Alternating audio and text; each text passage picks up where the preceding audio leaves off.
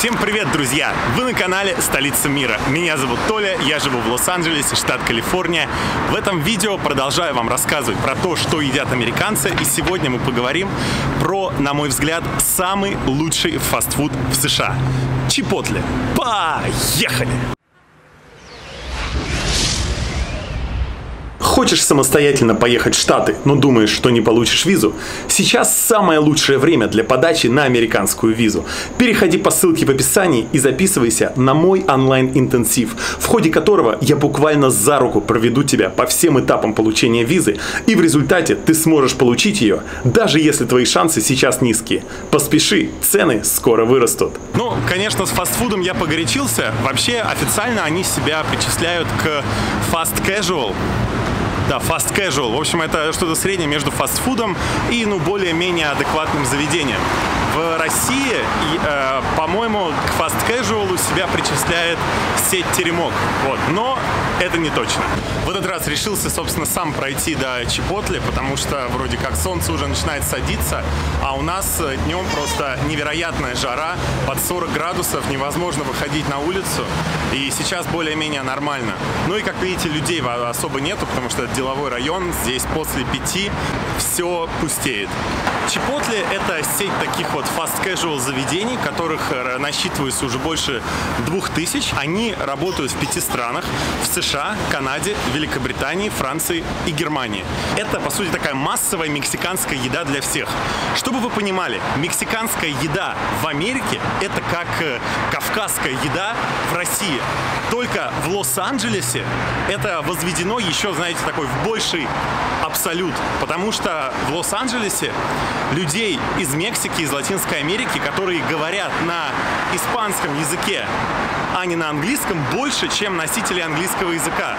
Вот, поэтому здесь эта еда буквально на каждом шагу. Причем мексиканская еда здесь, она от как бы самого дешевого сегмента, это если брать какие-то фудтраки, какие-то маленькие домашние заведения, и заканчивая там ресторанами высокого уровня, они вот, все вот мексиканская еда представлена абсолютно во всех сегментах.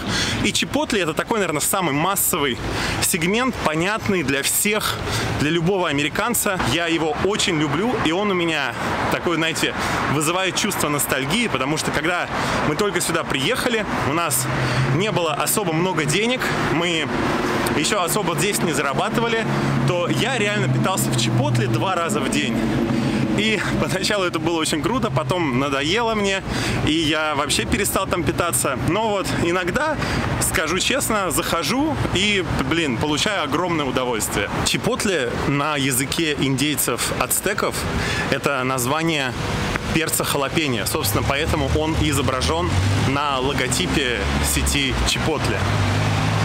Что же это значит и как это все выглядит со стороны обычного потребителя, то есть, ну вот, нас с вами? А, вы заходите, а, заказ производится на кассе, и вы, когда подходите к кассе, то там а, вы видите на витрине много разных ингредиентов. И вы, по сути, любой вот из этих видов просто наполняете разными ингредиентами, как хотите, на ваш выбор. И поэтому из-за того, что можно выбрать разные виды мяса, по-разному это все миксовать, то получается просто бесчисленное количество разных типов э, блюд, которые вы можете себе взять в Чипотле. Ну все, мы взяли, в принципе, все виды еды, которые есть в Чипотле, и сейчас пойдем пробовать. Вышло, кстати, все примерно на 45 долларов. Относительно других сетей быстрого питания, Чипотле достаточно молодой. Ему в этом году всего лишь 25 лет, как мне. Появился он, значит, в 93 году в Денвере, штат Колорадо. И, что удивительно, создал его вот этот вот парень.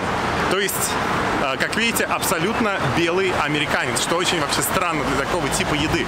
Но, как я и говорил, американцы безумные фанаты мексиканской кухни.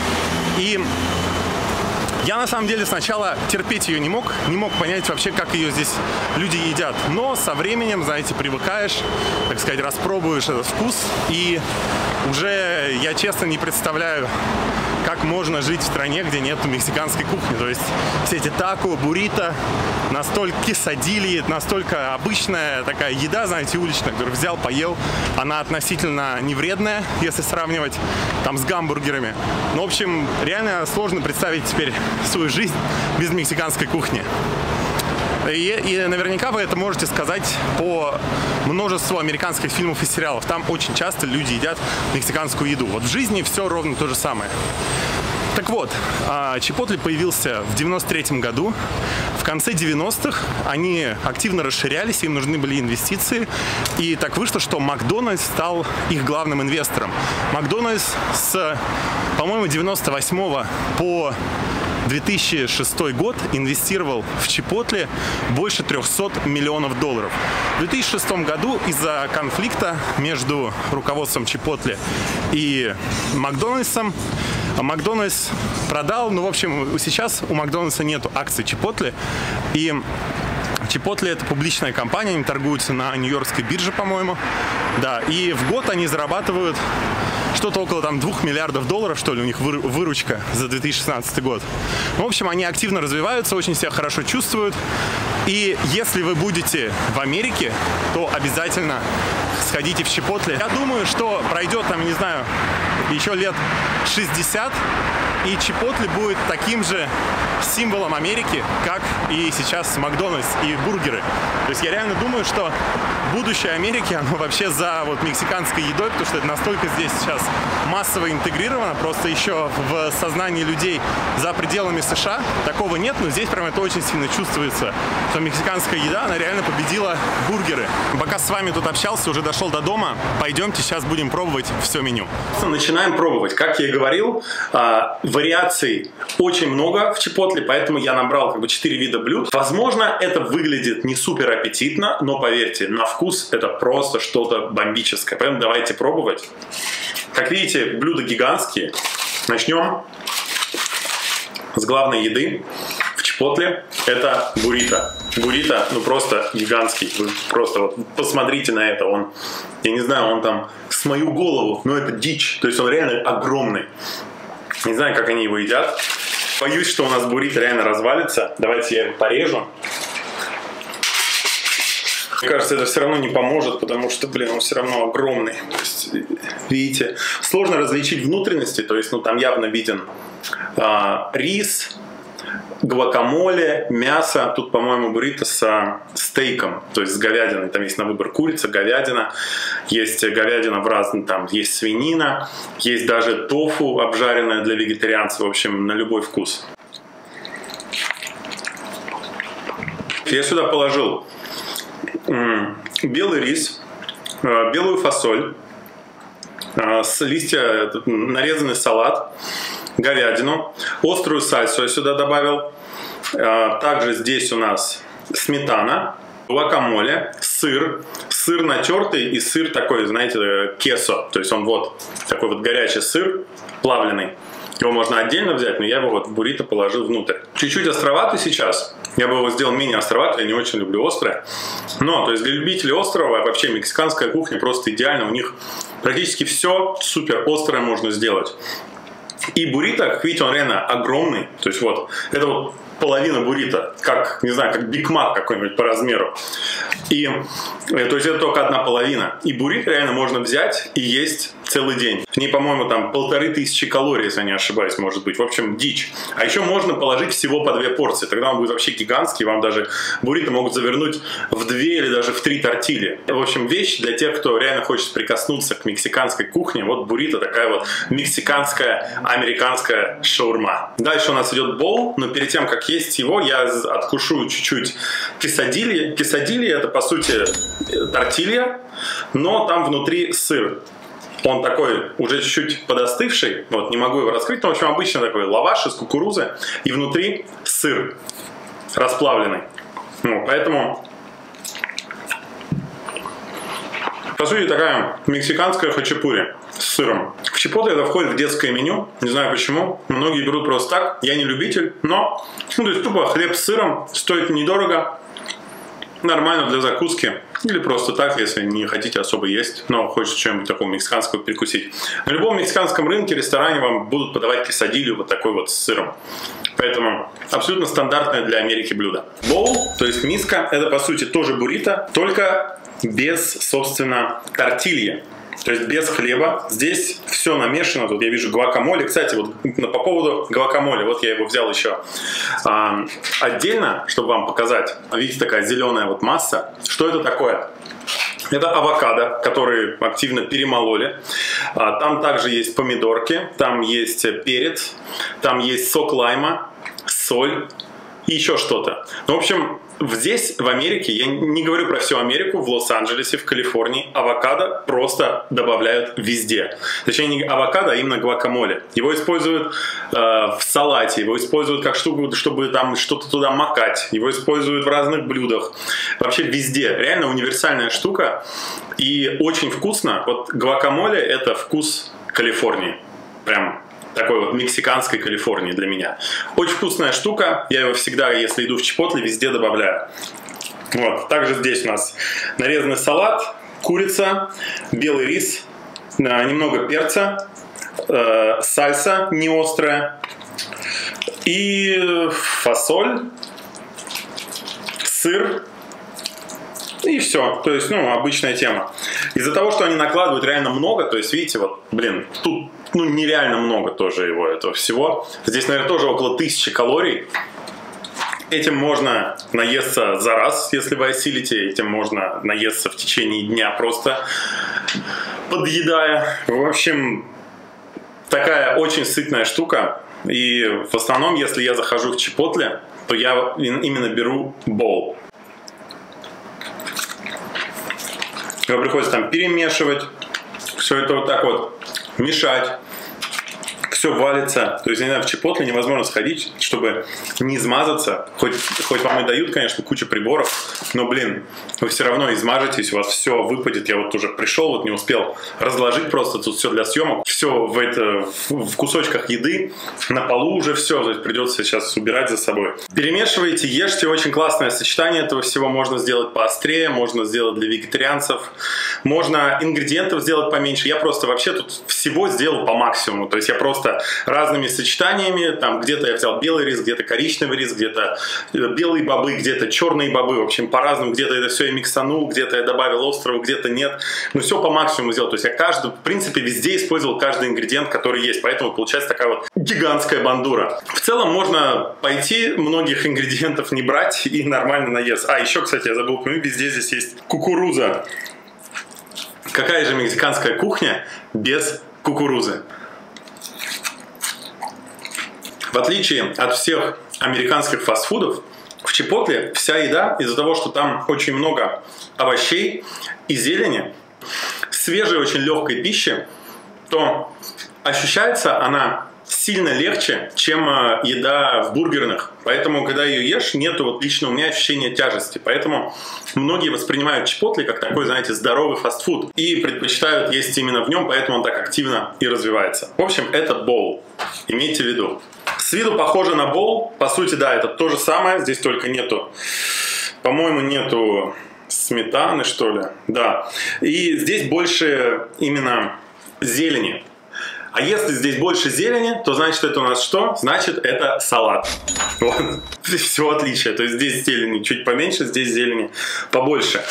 Тут тоже гуакамоле, тоже рис, сыр, бобы просто немного другого цвета. Ну, в общем, выглядит то же самое, я реально визуально может вообще никак не отличаться. Это уже свинина, и оно поострее. Да. Гигантская миска. Реально, м- можно есть целый день. Очень вкусно. Просто имейте в виду. Боу, меньше салата, салат, больше салата. Так по размеру то же самое. Кстати, все довольно дешево. То есть вы, в принципе, можете взять буррито, вот взять все, то есть вы платите только за тип мяса. А, по-моему, курица стоит 7 долларов, все остальное мясо, свинина, говядина стоит по 8 долларов. Для вегетарианцев тофу оно стоит тоже 7 долларов. И, значит, все, все остальные ингредиенты, то есть рис, фасоль, сальса, э, перец, сметана, там все это включено в эту стоимость. То есть вы, в принципе, можете за 7-8 за долларов, ну, реально наесться, то есть просто вот наесться в хлам вообще. И, но единственное, guac is always extra. Они всегда это говорят на кассе, когда вы просите добавить гуакамоле, они всегда говорят guac is extra. Вот, то есть э, гуак стоит дополнительный доллар. Вот, и это уже даже такой стал своеобразным мемом здесь в Америке. Guac is extra. Вы можете просто погуглить и найдете что-нибудь. В общем, это у нас салат. Дальше. Тако с говядиной. Тоже здесь много всего наложено. По сути, а, в тако, по-моему, чуть меньше калорий, потому что в каждую вот в эту маленькую тортилью, ну, они кладут намного меньше ингредиентов, чем в тот же бол. То есть бол может быть вообще гигантским. И ну, вот таким вот может быть. В тако много не положишь, поэтому вариант для тех, кто не может себя контролировать, берет все и сразу, и потом не может ничего съесть, э, объедается и все. Вот они так выглядят. Боюсь рассыпать все. Ну, в общем, здесь черные бобы, говядина, белый рис, немного перца, сальсы, кукурузы. Вот, то есть я взял тут сегодня по чуть-чуть. На вкус, знаете, какие мини-буррито. Я раньше тако терпеть не мог. Не знаю почему. Первый раз, когда я пробовал тако, я вообще не понял, как это можно есть. в чем смысл этих маленьких лепешечек, из которых все валится, и когда можно есть. В итоге я за два года жизни в Лос-Анджелесе научился есть тако, и у меня теперь более-менее ничего не падает. Но в целом, как я говорю, мексиканская еда, все летит, все вываливается изо рта, из рук, вы все грязные, это нормально. Но настоящие мастера умеют есть тако, чтобы ничего не упало. Напитки.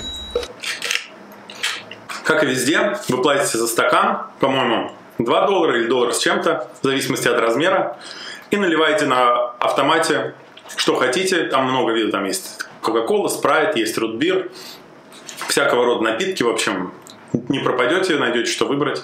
Или можно просто взять стакан воды, и вам дадут стакан совершенно бесплатно. Но многие этим пользуются, и в этот бесплатный стакан наливают себе вот эти вот напитки, которые типа платные. Не делайте так, это неэтично. На такой небольшой гарнир, закуску, а, у них есть чипсы.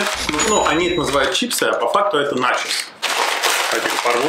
Небольшая такая упаковка на одного человека в сам раз. Это обычные кукурузные чипсы, которые очень-очень вкусно есть с гвакамоле и вот с этим вот горячим сыром, который в Чипотле они называют по-испански кесо. Вот. Они очень вкусные, прям, не знаю, я их обожаю. Это такой вкус Мексики для меня. Сыр, он такой остренький, с перчиком, горячий. Гуакамоле отлично подходит как дип. Кстати, в Америке вообще чипсы принято есть не в сухую, а именно с каким-то дипом. Дип – это как некая такая вот густая смесь, как гуакамоле, в которую вы макаете. То есть дип от глагола макать, то есть типа что-то макательное. И в магазинах всегда, э, там, где стойка чипсов, там всегда будут баночки с разными дипами, с разными вкусами. Поэтому тоже такая вот для вас деталь американских снеков, как они их поедают. Вот они используют всякого рода дипы. В общем, вот такие дела. Да, кажется, что мало, то есть всего там 4 вида еды. Буррито, салат, боул и такос. Ну и там чипсы. Но внутренние ингредиенты можно миксовать по-разному. Можно что-то не класть, можно что-то наоборот класть в двойном размере.